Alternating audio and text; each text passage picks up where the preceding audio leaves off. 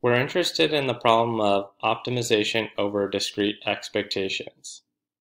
In general, we have discrete h, and we want to maximize expectation of f of h, where f is a function of our choosing, and p of h is a vector of independent Bernoullis. This kind of problem is desirable for sparse computation and interpretability with wide applications. For example, in hard attention and memory networks, sigmoid belief networks, and discrete action reinforcement learning. Existing gradient estimators come in two flavors.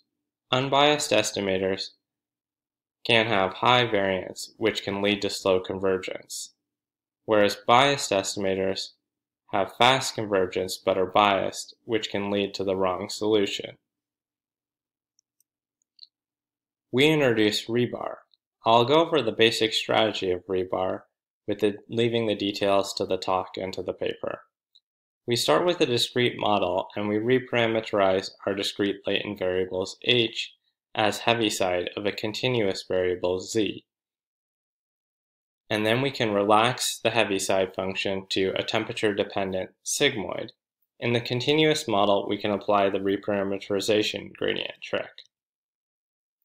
We can Correct for the approximation error by looking at the reinforced gradient of the discrete model and the continuous model.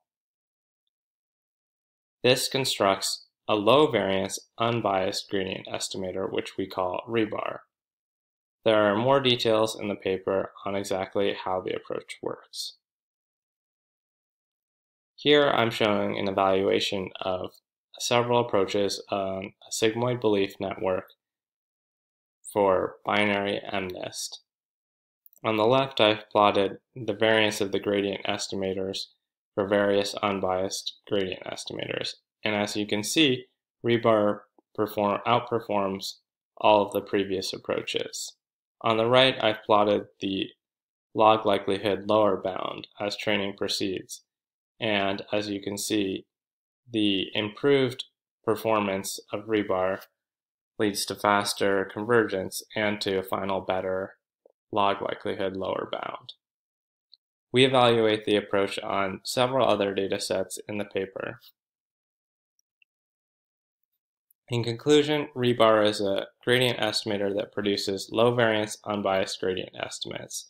It automatically adapts the relaxation temperature online. Code is available at this link. The talk is at on Wednesday, at 10:35 to 10:50 in Hall A, and I hope to see you there. Thank you.